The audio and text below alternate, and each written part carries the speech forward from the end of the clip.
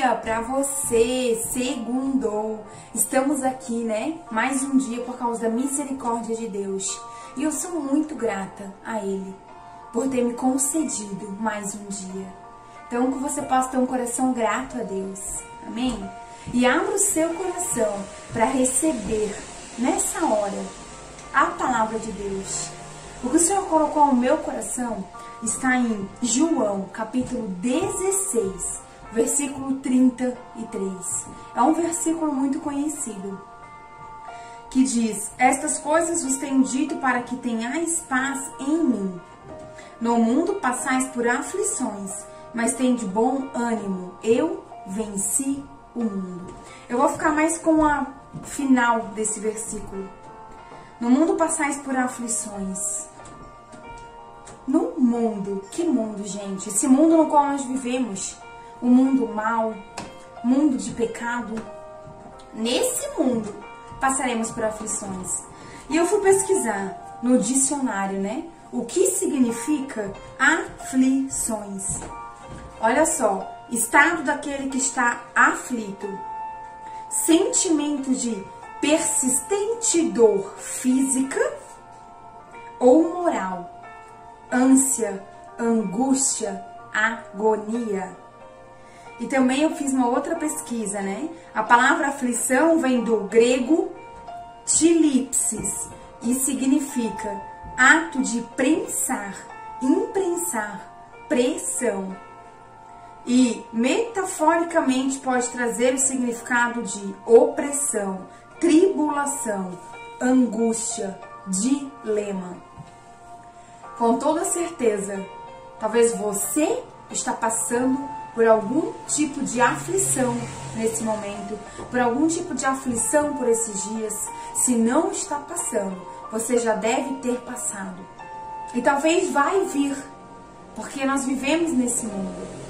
Nós temos sentimentos, nós não somos um robô, né? Nós vamos passar por aflições. E o que me faz ver isso é que Jesus fez uma promessa quando ele disse que no mundo vamos passar por aflições. Só que quantos, né, dizem, tem pregado por aí o seguinte: vem para Jesus. Vem para ele que tudo vai dar certo para você. Vem para ele que você não vai ter nenhuma dificuldade, Vem para ele que você não vai ter, né, nenhum tipo de tristeza. Vai ser só bênção aqui, bênção ali, é bênção, bênção e bênção. E isso não é verdade, porque o próprio Jesus estava aqui falando com os discípulos e dizendo: No mundo passais por aflições, mas tem de bom ânimo, eu venci o mundo. Meus queridos, eu tô aqui para falar o que a Bíblia diz. Só que ele nos prometeu que ele estaria conosco até o último dia. Até o último dia. Então quer dizer que se passamos por aflições, se passamos por dificuldades, passamos por essa dor, essa angústia, precisamos ter paz nele, somente em Jesus. Sabe por quê? Porque ele passou por tudo isso. Ele sabe o que você sente, ele sabe o que você está passando, ele sabe a sua dor, ele sabe essa angústia, ele sabe como está difícil. E ele está junto ao Pai dizendo: Pai, consola ela, consola ele. Porque eu sei o que é isso. Eu passei por isso. E em Hebreus, queridos, 4, versículo 15, nos diz isso. Porque não temos sumo sacerdote que não possa, que não possa compadecer-se das nossas fraquezas. Antes, foi ele tentado em todas as coisas, a nossa semelhança, mas sem pecado.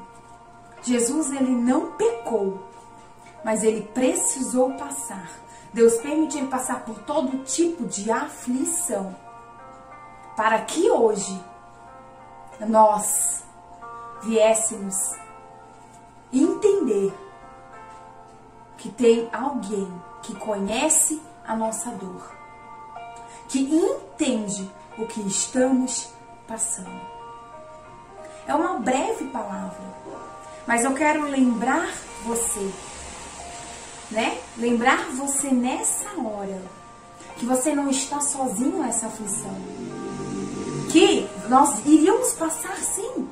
Que estar com Ele não é mil maravilhas tão somente, que nada vai nos acontecer. Pelo contrário, por estarmos nesse mundo, vamos passar sim por muitas coisas. Só que Ele passou por tudo isso. E Ele venceu o mundo. Por isso, precisamos ter a nossa paz nele, não nas coisas desse mundo. Estar firmado nele. Tá difícil, tá doendo? Corre para ele. Porque ele entende a sua dor. Ele sabe o que você está passando. E ele está comigo e está com você. Você tão somente precisa crer. Entrega a sua vida, as suas situações, essa angústia, essa dor, esses sentimentos, essas aflições, essas agonias que você tem sentido. Entrega para ele as suas preocupações, entrega tudo para ele, porque ele te entende e ele está com você. Se você crê nele, ele vai cuidar de você. Então eu deixo essa palavra, sabe? Vamos passar por aflições, vai ser difícil, muitas situações, mas com ele eu e você vamos conseguir vencer. Sem ele não conseguimos. Ninguém pode dar o consolo para você. Ninguém muitas vezes vai poder te ajudar.